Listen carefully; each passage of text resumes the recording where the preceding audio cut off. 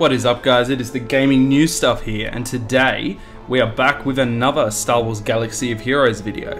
Now following the success of my top 5 characters to farm in Star Wars Galaxy of Heroes, I've decided to make kind of a follow-up video to that. And this one is my top 5 favourite characters for the Galactic War. Now, disclaimer at the beginning, uh, basically healers are going to be grouped into like I'm not going to just go through all healers because I'd say healers are the best for the Galactic War, but you'll see what I mean. So, number one for the Galactic War, in my opinion, is Luminara. Now she was in the previous video, but the reason I've chosen Luminara is because of her heal. Since the Galactic War, your characters keep their health over the different battles, you need a healer or else they're all going to die really quickly, even if your team's incredibly strong.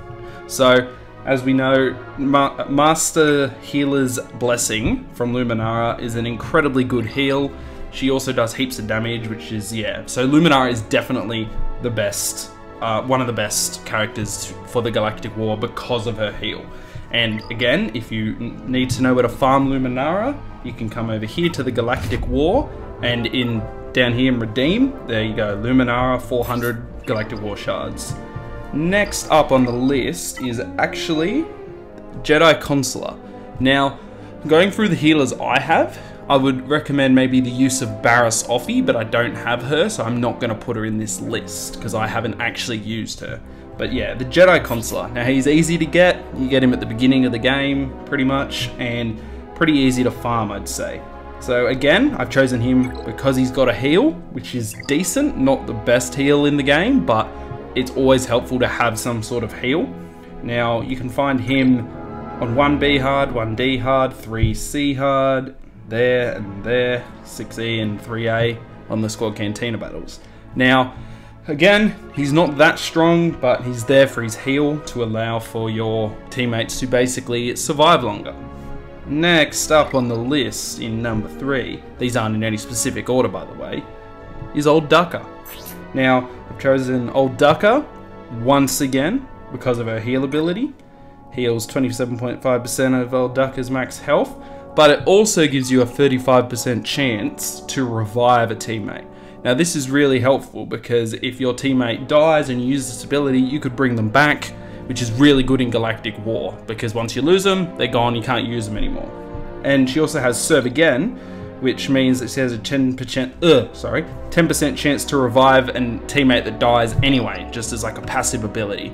So she is really good for galactic war especially if you get her up higher. I need to keep farming her but she is another good character for galactic war. Now i normally use the three healers and then we're going to have a look at the other two units i normally use. So the first one is Rey now Rey is pretty goddamn sweet. As I said in the last one, she's pretty difficult to farm, but she basically does so much damage that I can't turn her down. So normally she's used to take out Sidious. I use her to take out Sidious on the beginning because most people have a Sidious on their team. Because if you can take him out, your healers don't have a problem. There won't be any healing immunity on your team and she'll wipe them out easily. And you can find Rey at 2A hard, light side, 5D hard, dark side, and 7B hard, dark side. I'm also going to quickly show you, sorry, where to farm Old Daka if my iPad stops lagging like a crazy. So Old Daka can be found in the Squad Cantina battles, down in Redeem. She can be found right there, that's the easiest way to get her. You can also farm her on a few story missions, but that's the easiest.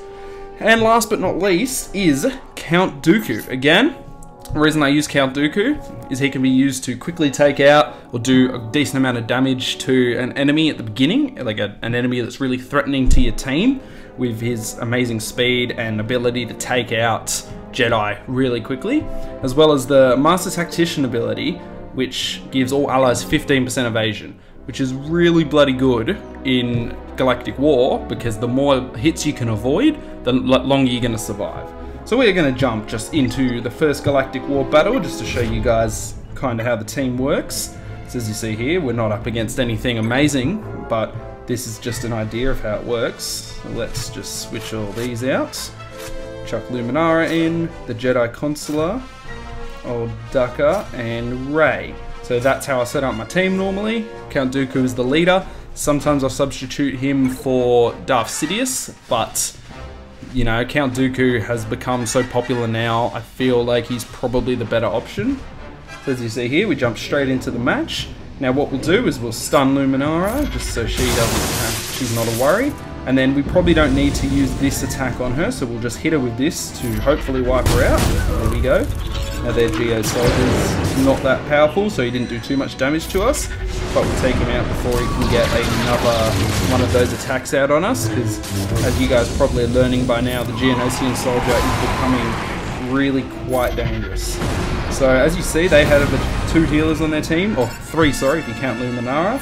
So we'll take out the healers pretty easily with the use of Count Dooku and his stun on Jedi's. And hit him up and then wipe him out. And then take out Talia, Talia, not 100% sure how it's pronounced. I don't haven't watched all of the Clone Wars. I've only watched like the first season or something. And then you see we're not really low enough to heal, but since the Jedi Consular's heal doesn't heal that much, might as well heal up to pretty much full health for the next battle. So that way we've still got two uh, heals on Luminara and on Daka that are full. So in the next battle, if we get hit by something powerful, we can just heal up straight away. And as you see, you basically just go through like that. It's pretty simple to beat the Galactic War once you farm a decent team and you've got enough healers to take you all the way. And, oh yeah, sorry, to find Count Dooku quickly, you can easily farm him at 1C hard on both light and dark side, and 6G normal, which is where I farm him. I almost have him to 7 stars, which I'm super keen for. Now, I hope you guys enjoyed that video and hopefully it helps out anyone that can't beat the Galactic War yet with an idea of the strategy. You can substitute Rey for, since Rey's quite difficult, you can substitute her for Darth Sidious or Qui-Gon Jinn or something. Just someone that can do a decent amount of damage and take out the enemy team. So, if you guys enjoyed this video, make sure to leave a like, comment down below your favourite Galactic War team, and subscribe for more Star Wars Galaxy Heroes videos, and peace out.